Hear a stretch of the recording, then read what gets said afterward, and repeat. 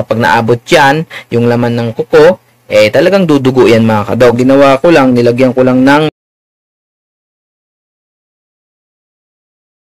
Hindi naman mahirap putulan ng kuko tong aking alagang aso mga kadogs. Napakabait niya, sobrang behave yan. Ayan lang, gusto lang nakaganyan siya. Nakahiga, nakabukaka, or nakahilata. Yan lang ang gusto niya. Pero kapag pinaupo mo yan, hindi yan papayag. Ang gagawin yan, hihiga ng kusa.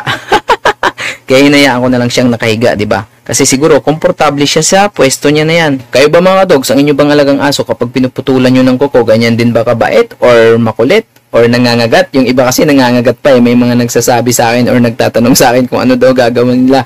Sabi ko, lagyan nyo ng busal. Kasi nangangagat daw kapag pinuputulan yung kuko.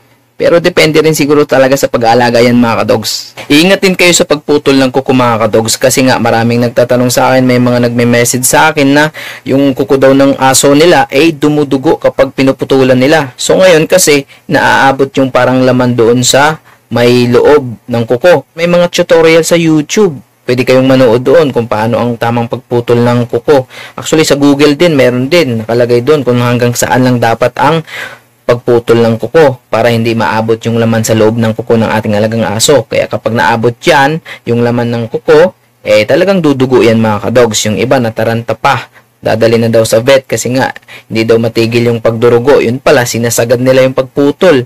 Eh talagang dudugo yan mga kadogs. Kaya ingat rin po kayo mga kadogs. Nangyari na rin sa amin yung insidente na yan mga kadogs. Eh, naputulan ko talaga ng sagad yung alaga kong aso. Yung una-una pa naming aso yun mga kadogs. Kasi nga first time namin mag-alaga ng aso noon, hindi namin alam na mayroon palang bandang guhit or may guide na dapat hanggang doon lang ang pwedeng pagputol ng kuko ng aso. So, yun, nasagad ko, talagang dumugo ng dumugo. Ang ginawa ko lang, nilagyan ko lang ng langis lang din.